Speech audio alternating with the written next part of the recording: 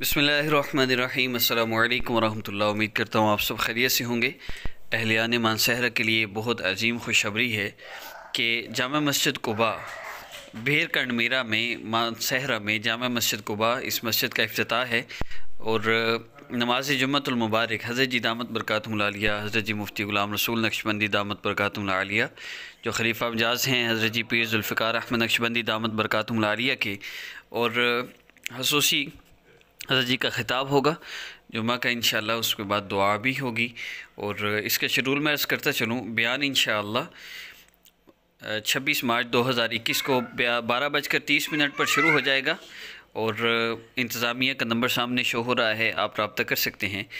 आप इस म्यान में ज़रूर शिरकत फरमाएँ मस्जिद के अफ्ताह में भी ज़रूर शिरकत फरमाएँ और हजरत जी का बयान सुनकर अपने कलूब को मनवर फरमाएँ अल्लाम वरहमल